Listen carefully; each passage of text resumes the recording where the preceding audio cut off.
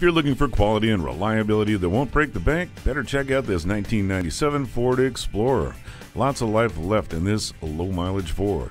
Recent arrival RFX. Features include a sunroof, air conditioning, rear anti roll bar, two tone paint, a ton of cargo space. Could be the one to pull that new boat this summer. Come see it today.